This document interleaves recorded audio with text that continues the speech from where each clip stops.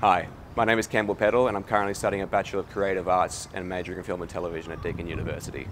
I've done freelance filmmaking work for a number of musicians and companies, creating live music performance videos and music videos. During these projects I became efficient at problem solving so that I could meet the vision of the artist whilst also sticking to the budget of the project and utilising the tools at my disposal. I had the opportunity recently to make a television show with a friend on Channel 31 which was a sketch show which we wrote, acted, directed and edited together.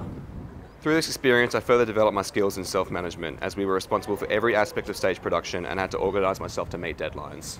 Through studying my course at Deakin, I was able to further develop my skills in working in a team, bringing together the talents of each individual team member in order to create the best final product possible.